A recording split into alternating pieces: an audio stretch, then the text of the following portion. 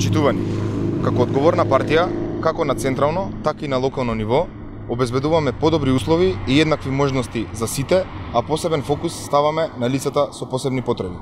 Од оваа учебна година, градот Скопје за прв пат воведува стипендии за средношколци за лица со попреченост.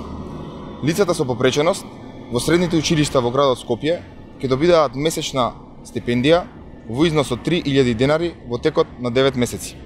Процесот на пријавување е во тек и ги охрабруваме сите кои ги исполнуваат критериумите за оваа мерка да се пријават на повикот. СДММ, како дел од СДСМ, активно работи на креирање на квалитетни младински политики што го подобруваат секојдневниот живот на младите.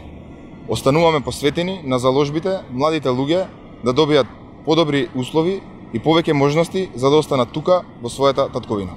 Ве благодарам.